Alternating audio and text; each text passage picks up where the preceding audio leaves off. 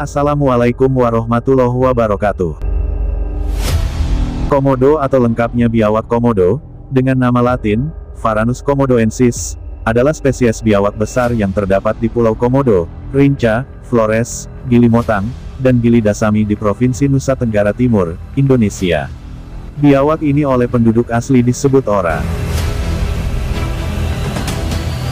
Komodo menyukai tempat yang panas dan kering dan biasanya hidup di padang rumput yang kering dan terbuka, juga di hutan tropis dataran rendah. Sebagai ektoterm, Komodo paling aktif di siang hari, meskipun menunjukkan beberapa aktivitas malam hari. Di edisi kali ini kita akan sedikit mengenali salah satu kadal raksasa dari Indonesia yaitu Komodo, Ikuti terus Rejaan Sapan Channel, bagi yang belum subscribe, jangan lupa untuk subscribe.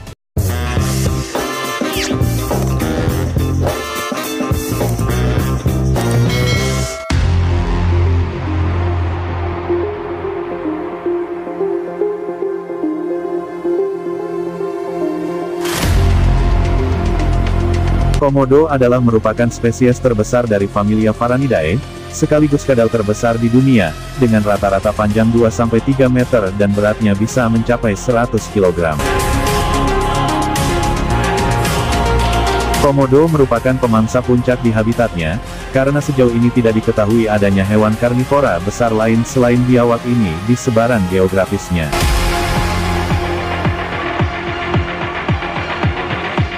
Tubuhnya yang besar dan reputasinya yang mengerikan, membuat mereka menjadi salah satu hewan paling terkenal di dunia. Komodo dikenal memiliki indera penciuman yang kuat.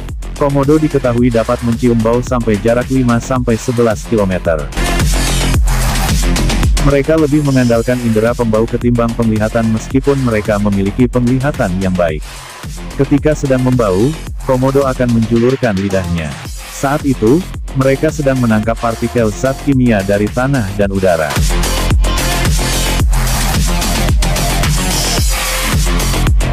Sekarang, habitat komodo yang sesungguhnya telah menyusut akibat aktivitas manusia, sehingga lembaga IUCN atau International Union for Conservation for Nature, memasukkan komodo sebagai spesies yang rentan terhadap kepunahan.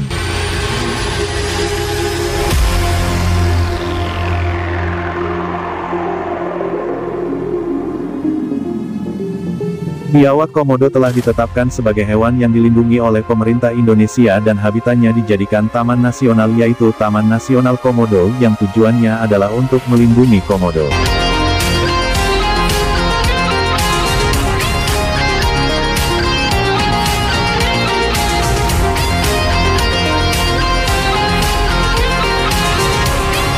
Beberapa tahun yang lalu, Para peneliti percaya bahwa komodo memiliki air liur yang mematikan dan bisa membunuh seekor kerbau hanya dalam satu gigitan. Faktanya, air liur komodo hanya memiliki sedikit bakteri.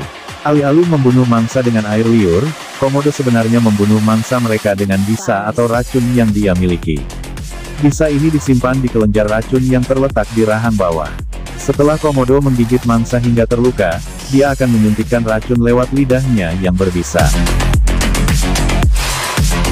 Meski luka akibat gigitan komodo tidak terlalu parah tapi racun yang menyebar lewat luka gigitan sanggup membuat hewan maupun manusia kehilangan banyak darah, kelumpuhan, kerusakan jaringan, disertai dengan rasa sakit yang luar biasa sebelum akhirnya ambruk ke tanah dan jadi santapan komodo.